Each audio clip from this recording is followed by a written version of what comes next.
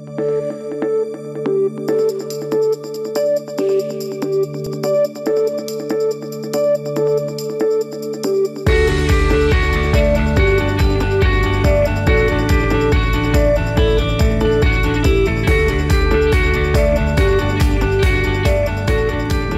again, everybody. Cody Broderick here with Brady Broadbent.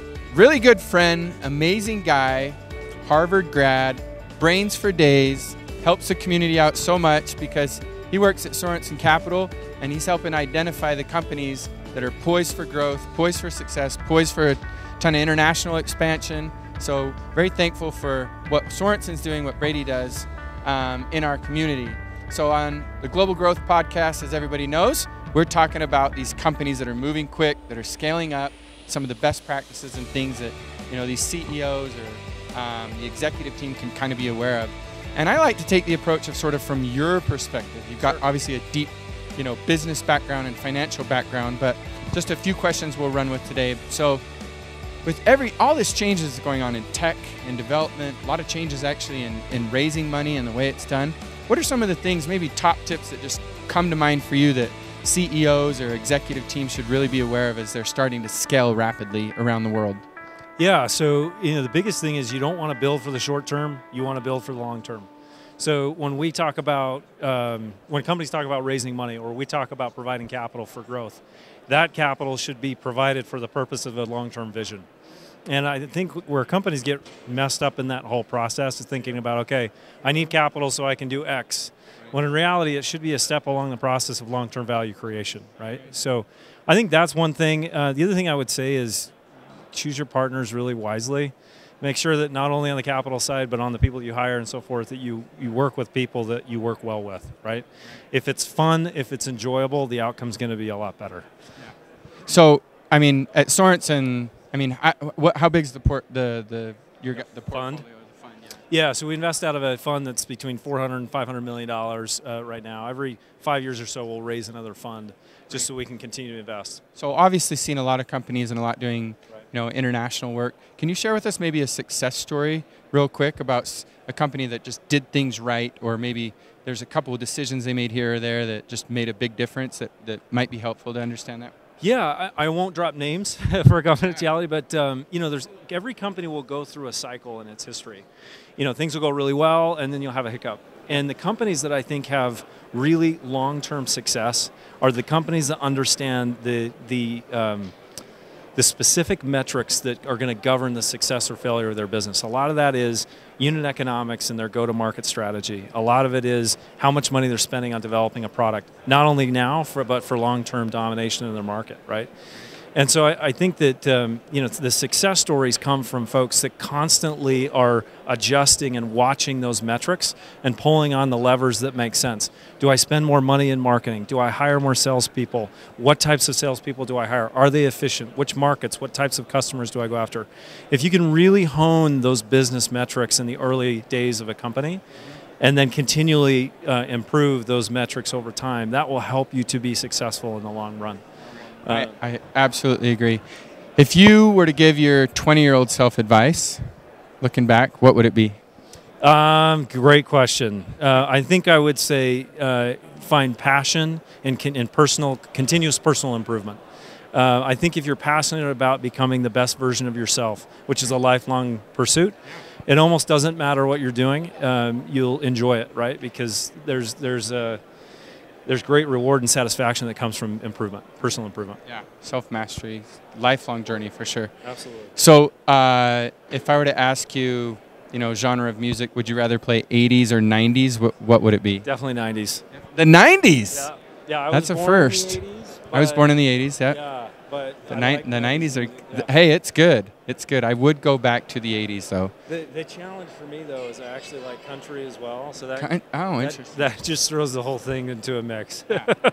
I'm. Yeah. I. Have you ever been to a Garth concert? I have not, although it's on the list. Oh wow. Yeah. Yeah. Garth concert. I. You know, it was the hype before, like Garth, and then I went and I was like, what is going on? This that is man has incredible. Passion. Yes, energy for days. Yeah, it was really good. So, uh, do you uh, do you think that pineapple should be allowed on pizza?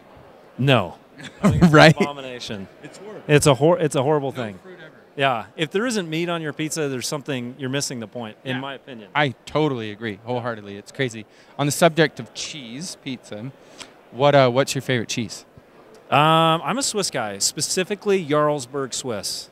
Ooh, Yes. nice. I like you get specific there. Yeah, you know. yeah, yeah, yeah. I love cheese. Nice. Cheese is great. Yeah, Sticky everybody cheese does. is a little aggressive for me, but Yeah, I like some of the sharp stuff. Yeah, Swiss is good. Okay. Um, if you were to give maybe one or two pieces of advice for a company doing international business, kind of keep their eye on it, what would it be? Yeah, good question. So um, I think one of the areas where companies can have false starts internationally, especially when you're you've got a nice footprint domestically and you're trying to expand, right? Is you choo- choosing markets that are a bad fit for your product can be a massive setback, and it happens very very frequently. You know, folks might say, okay, well, look, let's go to China because China's a big market. Well, China may not be set up to consume the product that you're offering whereas the UK might be a really good fit for that. So going through the analysis in a very thoughtful way up front and figuring out the go-to-market differences in those in those markets is, I think, you know, going to improve the likelihood of success. I, I've been involved in situations where you know it's like, okay, what's the biggest market? Let's go after that market. When in reality, your adoption in a smaller market might be way faster. So I think those are some of the key things you got to do. The other thing is hiring a team that not only knows your product but actually knows that international market is critical.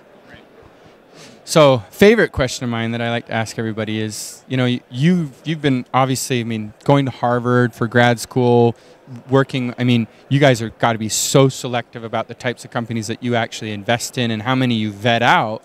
So, you're looking at a lot of entrepreneurs and teams. What is the difference that makes the difference in your in your mind? The difference if it's an individual. What's the difference that makes a difference? Yeah. So before I answer that, just one comment. So one, it, uh, it- you know, if you're running a company and for whatever reason it's not a good fit for an investor, it really has no bearing on your likelihood of success. Uh, there are the, the most of the economy, from my perspective, comes from businesses that are that are bootstrapped, that are by entrepreneurs that are just building their business in the best way they know how. So don't let that be a barrier of, of success or failure. But from our perspective, given the hurdles that we have, um, you know, I think one of the big things that makes a difference. I, I, there's sort of two things, and it, it, it's all about the team. But what does the team have, right? That's the difference. First is the ability to execute, and I know that's a, maybe a cliche term, but what does that mean? It means that you get stuff done quickly, efficiently, that you make decisions quickly and efficiently with the best data that you have. Making a quick decision based on good data is better than waiting for perfect data. Um, so I think that's critical. And then the second is having a product in your market that is truly a leading product. We heard about that this morning a little bit. Um, product leadership is really really critical, and that doesn't mean that you have to have something that is never you know, nobody else can replicate. It means that you do it better than the next guy. Um, and I think if you can do those two things in a big market, I think that's probably pillar number three. You'll be in a, in a really good place. You know, you can have a great team and a great product in a really small mar- small market. It's going to be hard to have a great outcome. Yeah. Yeah, there's a quote by Tony Robbins execution trumps knowledge. Right. Yeah, I'm, I'm totally with you on executing that way. Um, let's see. Had one more question. Kind of lost it there for a second. Um, it was a good one, though. Oh, yeah. We're at a tech summit. Yeah.